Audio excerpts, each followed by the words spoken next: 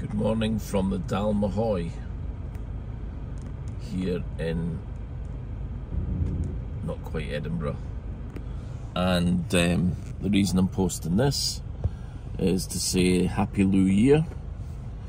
We've got Loo back on the road. Came out of hibernation about Wednesday last week into Thursday, but just onto the driveway.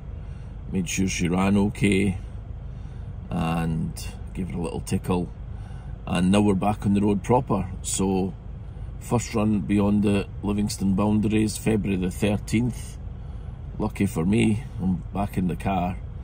It's nearly half past six in the morning, and yeah, I'm going to post this as a quick shot just to say Loo's back, and then we'll see if we can't get some more shorts over the next couple of weeks.